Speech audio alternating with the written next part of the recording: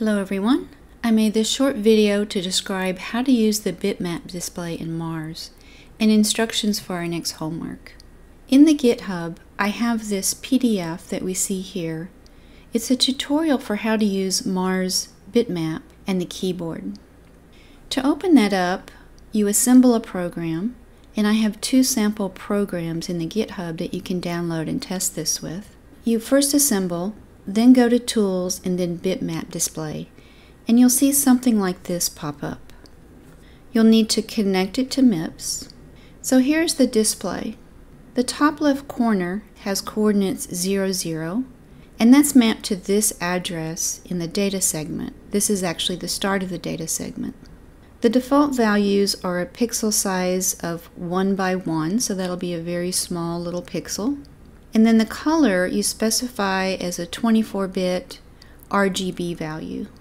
So the default is all zeros, which is black, what we see here.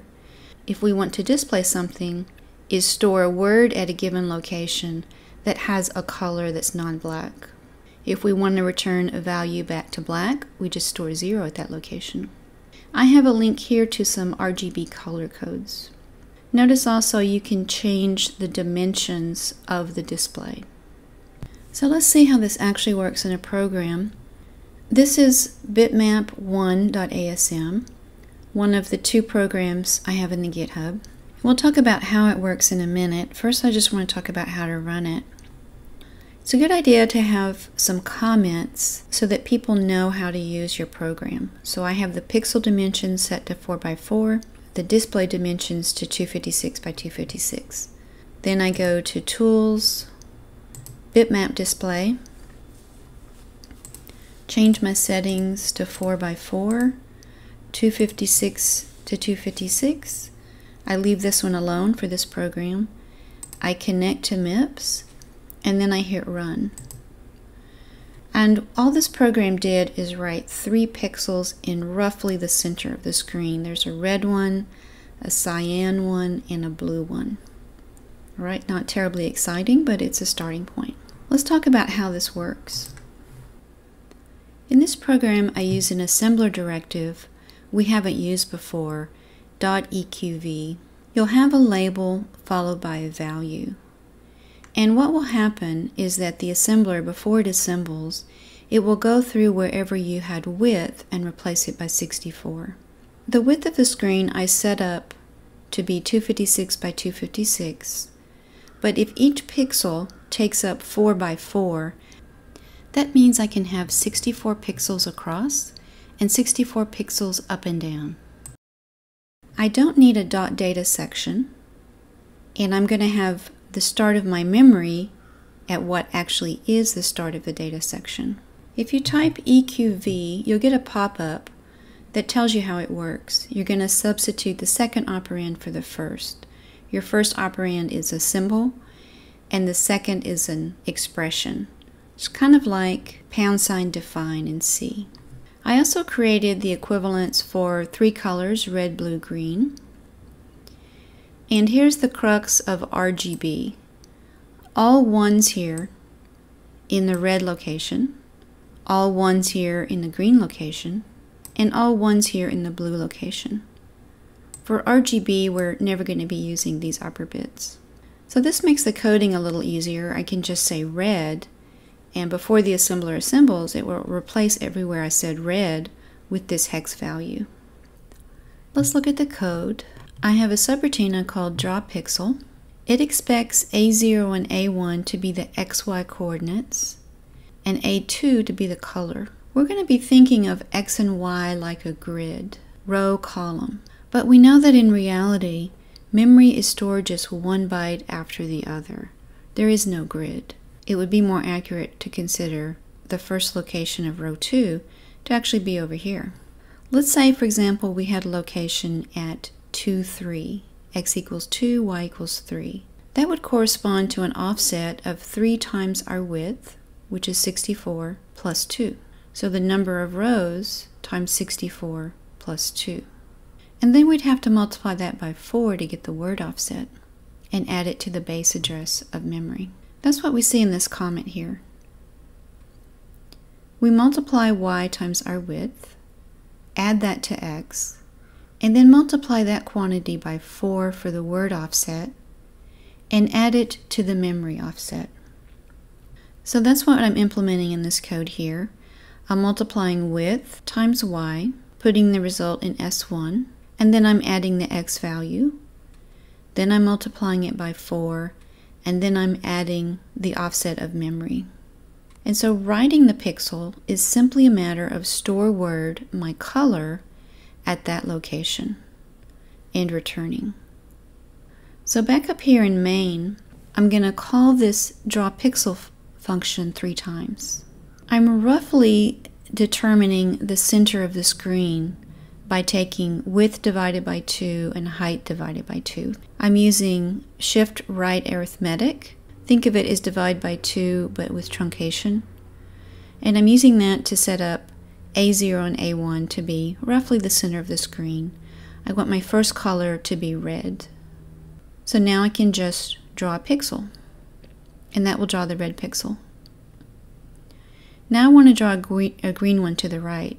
All I have to do now is add 1 to A0 because my draw pixel function is going to take care of translating this into an address. I'm going to make my color green and draw a pixel. I want to draw a blue pixel to the right, so I add 1 to X, put in my color blue, and draw the pixel. So let's see that one more time. I'm going to set a breakpoint before my first draw pixel, and then I'll set a breakpoint right after it. We see it drew the red pixel. Let me set another breakpoint right after the next draw. That drew the green one. I think I called it cyan earlier. And then I'll set a breakpoint after the next one. We see it drew the blue one there. In this first program, the memory map data was stored at the start of the data section. That would make it difficult to add other memory locations that the program may need. So another approach is to set up program data in a dot .data section and then use the area starting at $GP for global pointer for the MMIO data. I'll demonstrate that in the second program. We're going to use GP as the base address and we'll slightly change our pixel size. We'll have bigger pixels this time. This will make a slight change in our draw pixel. We'll just be adding it to GP instead of MEM. The second program in the GitHub not only uses the bitmap display, it also uses the keyboard simulator. So let's see what that looks like before we actually look at the code. I set up my 8x8 pixel size. The display is 256 by 256 and I changed the base address to GP. Let me put that aside. Now I'm going to go to Tools, Keyboard, and MMIO Simulator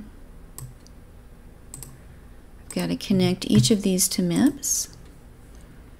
And what we'll do is type in this area. Let's run the program. And we see that it just draws a big red pixel. If I type W, it goes up. If I type S, it goes down. If I type A, it goes left. And if I type D, it goes right. The memory mapped I.O. keyboard uses 64K of memory from addresses hex FFFF0000 to hex all Fs. There are two special locations we can think of like registers within this memory. There's a control register and a data register. This location here, which we're going to load into T0, it will hold whether or not input is available. So we're going to keep looping here until we get some input. Once we get some input, that will be at this location, which we're going to load into S1. So we've gotten some input from the user. We want to check, is it a space? That's decimal 32 in ASCII. Is it W? It's decimal 119. And then is it S, A, and D? If it's invalid, we're just going to ignore it and jump back up here to the loop. If they input a space, we're actually going to quit. If they input any of these other values, that we're checking for, WSAD, we're going to go to up, down, left, and right, which are here. First thing we want to do to move the pixel is actually to draw it as black. So we put the color 0 into A2 and draw the pixel. If we want to go up, we want to modify Y, which is an A1, by negative 1, put in our color again and draw it and jump back up to loop. So we follow this same pattern for up, down, left, and right. If we want it to move up and down, we'll adjust the Y value in A1 by positive or negative 1. And if we want it to go left and right, we'll adjust the X value in A0 by positive 1 or negative 1.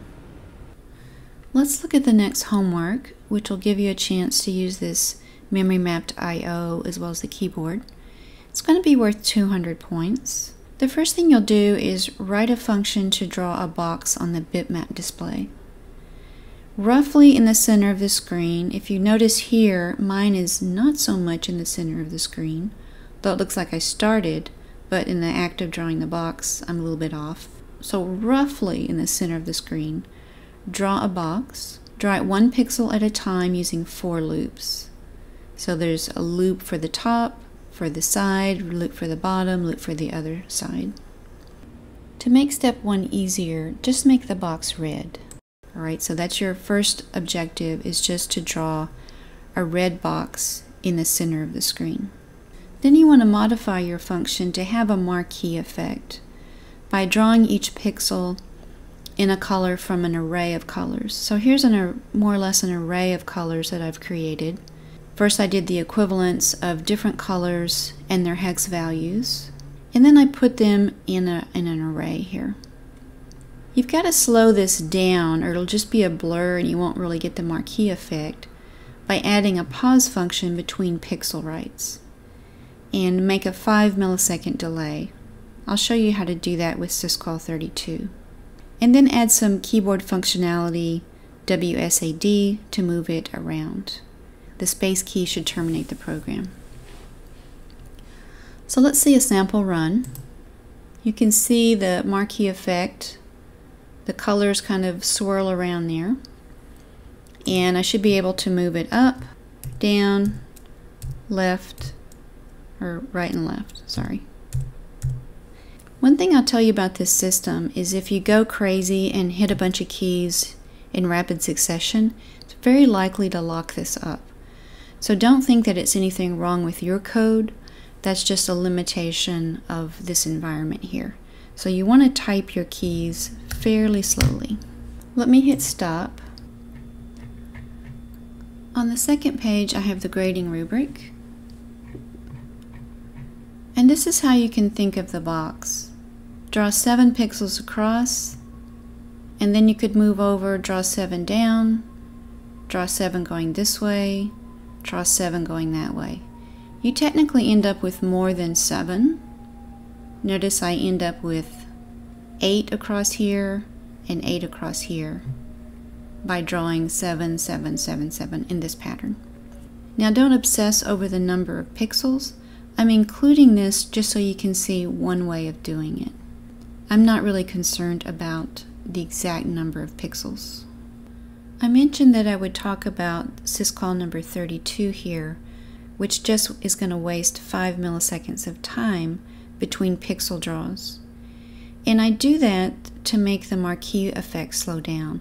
Let's see what happens if I comment this out. I can do that just by commenting out the syscall.